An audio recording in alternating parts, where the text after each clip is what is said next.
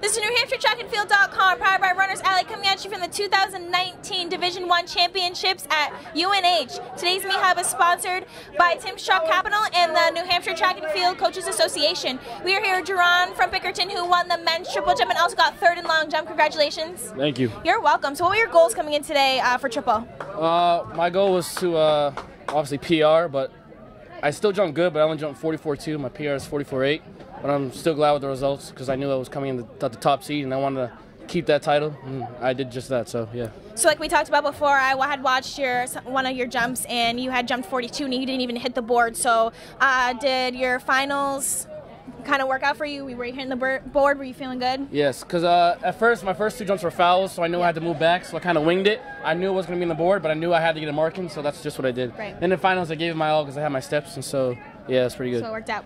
Uh, what was your biggest challenge of today in, today in triple? You mean there's good competition here. You're at the championship. So anything else besides that?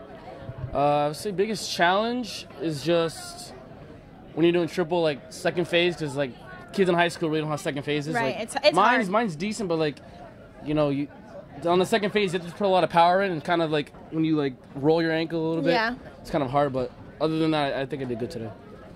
Uh, what are your goals going into Meet of Champions next week?